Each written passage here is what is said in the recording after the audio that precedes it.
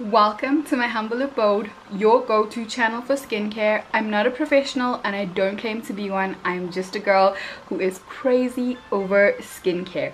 So in today's video, we are going to discuss my best cleansers for dry skin. There is a timestamp in the description box below, so if you want to jump around the products, you're more than welcome to. There's also some discount codes if you want to use. If you're part of the dry skin clan or the damaged barrier clan, unfortunately, we can't just go in with any type of cleanser. In the state that our skin is, we cannot afford to be losing any moisture, especially during cleansing. So we need cleansers that are going to effectively clean our skin but not strip the moisture from our skin because Hante, there is barely moisture here and we can't be giving that away for free. So these are my go-to cleansers as a dry baby. So the first cleanser that we are going to be discussing is the La Roche-Posay Toleriane Dermo Cleanser cleansing and makeup removal fluid, face and eyes, all types of intolerant skin. So I'm going to give you a little secret. I only deep cleanse my skin once a day. So I do that effective clean only at night. The reason for this is during the day I am picking up dust, I'm picking up dirt, I'm fighting free radicals, I'm sweating. So I really need to cleanse my skin effectively at night. At night I go in and I put on my beautiful essences and serums and moisturizers and I'm not jogging in my sleep. I'm not over sweating. I'm not picking up any dust and dirt. So in the morning, I don't really need to effectively clean my skin. I still have all those beautiful products from the night. So I just need something that's very, very gentle. That's just to give me that, like, girl, I washed my face this morning feeling. So I don't really need to effectively clean in the morning because I'm not removing dirt and sebum buildup and SPF and all of those good stuff. So that's where the La Roche-Posay comes in. Okay, so in terms of ingredients with this product, First on the list is La Roche-Posay Prebiotic Thermal Water. This is like a patent water. This water is sourced in the heart of France, in the town of La Roche-Posay, and it is a soothing water. So I can't speak on behalf of this water and I definitely can't confirm that it is a miracle water but it is fancy sounding and it works really well in this product. So I really like this product because the ingredient list is really, really simple. It's got humectants and moisturizers that I like, such as glycerin, which is actually found in your skin, so it's a skin identical ingredient. There's also propylene glycol and glycerin and propylene glycol are high on the ingredient list so they are very concentrated so incredibly hydrating lower on the ingredient list are other humectants and moisturizers such as caprylyl glycol and panthenol there are two stars in here and those are ceramide NP and niacinamide. These are really some star ingredients but you are going to be washing it off so it kind of doesn't matter that there's ceramides and niacinamide in here because ideally for those to be effective they would have to be in your skin for a lengthy amount of time there are some very mild and gentle cleansers in here they are polysorbate 60 and coco-betaine last on this list is T-butyl alcohol but relax. This is a fatty alcohol and it acts as an emollient. It is not the drying alcohol, so not the bad alcohol. And especially for us dry babies, you know, we don't want any drying alcohol in our ingredient list. So like I said, this does not effectively clean. It doesn't do a squeaky clean clean. that sounded funny but it is very very hydrating and it's an effective cleanser for my morning routine so next up is one of my favorite cleansers we are going to be discussing the hey gorgeous aloe and chamomile cleanser So this has aloe and chamomile distillate in it, which is just basically aloe and chamomile water. It has rose water in it, which is great for pH balancing. It's also known to be antibacterial and anti-inflammatory. So next it has jojoba in it, and this comes from a plant. Jojoba is known for its healing properties. It's very effective with treating skin conditions like eczema, psoriasis and very good for sensitive skin. It also has calendula in it which is an antifungal, antibacterial, anti-inflammatory plant extract um, also known to be very soothing. There is citric acid in it. Will just act as your pH adjuster so you're getting a good pH balance in this. Then there's rose essential oil in here.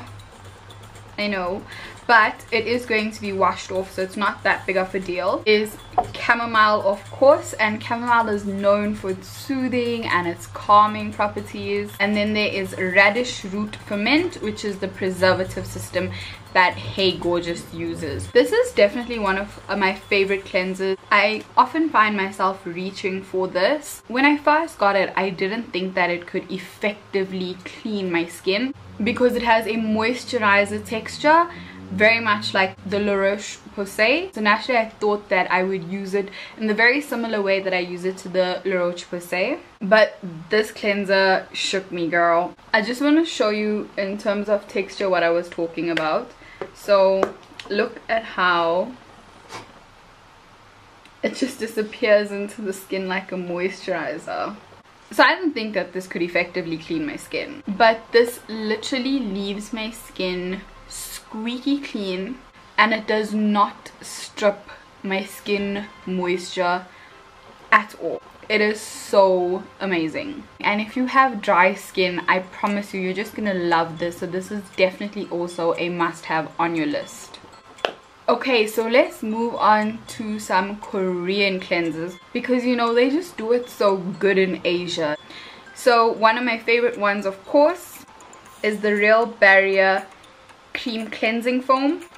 The surfactants that are used in here and when I use the word surfactants it is the actual cleansing agents that are being used. And I'm gonna have to read them because they are difficult and I may be pronouncing them wrong as well. I should start my YouTube video saying hi on this channel we butcher the pronunciation of skincare ingredients.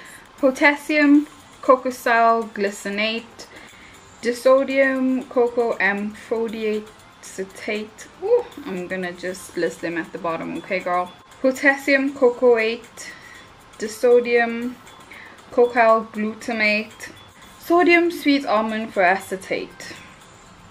So the point is the pronunciation is not the point the point is that these are mild cleansing agents they do not strip your skin from its moisture they are very gentle surfactants but they do a very effective job in cleansing and cleaning your skin. There are some great humectants and moisturizers in here as well, as well as antioxidants. But like I said, you know, it doesn't matter because it is not going to be on your skin for long enough. You are going to be washing it off.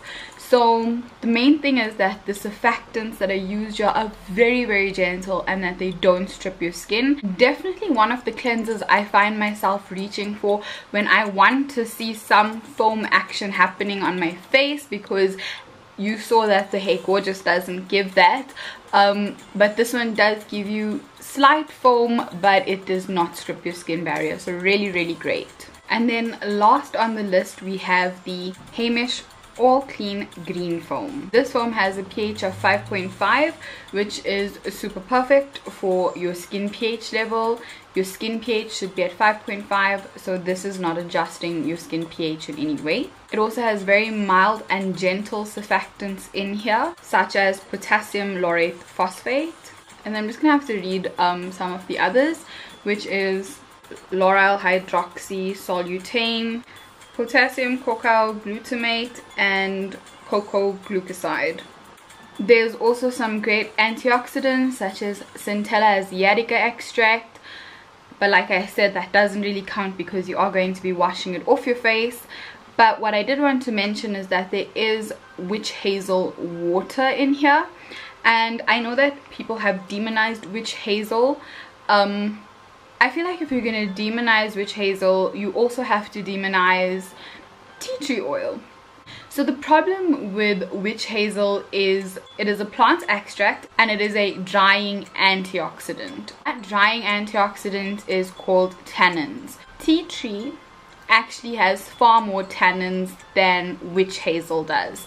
The problem that people have though is the way that it is extracted. It is extracted using alcohol. So you already have a drying antioxidant plant and then you're extracting it with a drying alcohol and you're just giving the skin way too much dryness. In this case though, they did not extract it using a drying alcohol. The witch hazel is not on the top of the list so it is not in a high concentration. It's actually towards the middle to the bottom bit and you know that I don't have a problem with witch hazel as long as it is in a low concentration and it is distilled via water and not alcohol. So in this case it meets my requirements as a dry baby for witch hazel to be present in the ingredient list for me to actually say okay I'm going to be using this product this cleanser has mild surfactants. It does a really good job at cleaning my skin and it does not strip my moisture barrier. If you have more dry to combination skin, you are absolutely going to love this if you have extremely dry skin i don't think that you're going to opt for this but it still is part of my list for dry skin cleansers and finally, we have question of the week where you ask me your skincare question on Instagram and I answer it here on my weekly YouTube video. So today's question of the week comes from Coco Chanel with an X and she is asking I use a 2% salicylic acid cleaner. Can I use 2% BHA tonic from Skin Functional after? So firstly, salicylic acid should be used by people who have very oily skin and people who suffer with acne prone skin. However, people with dry skin can also use it, but it should be used in much lower concentrations. 2% of salicylic acid is the sweet spot for salicylic acid so that's great that you're using salicylic acid if you have oily skin or you suffer from acne prone skin it's perfectly fine hun because ideally that 2% of salicylic acid that you're using in your cleanser you should be cleansing your skin for like 45 seconds and then you're going to wash it off. So it's not sitting on your skin. You then go in with the 2% BHA toner which now actually sits on your skin and actually gets in and works and cleans all of that muck and that dirt and does everything that someone who has oily skin or acne prone skin needs. What I would say though is not to go in with it every single day. I would say the max you should go in with that toner is perhaps twice a week. You need to remember that you don't want to over exfoliate your skin. If you over exfoliate your skin, you can actually damage your skin barrier. When you have a damaged skin barrier, I always use this as an illustration. This is a healthy skin. So basically all the good stuff, all of your moisture stays in, all of the free radicals, pollutants that's in the air, etc. deflect off your skin. But if you have a damaged skin barrier, this is what your skin starts looking like so you struggle to hold on to moisture and bacteria and infections can easily get into your skin so you're actually causing much more problems for yourself. The work that it takes to repair your skin barrier is real girlfriend. So that's it for today.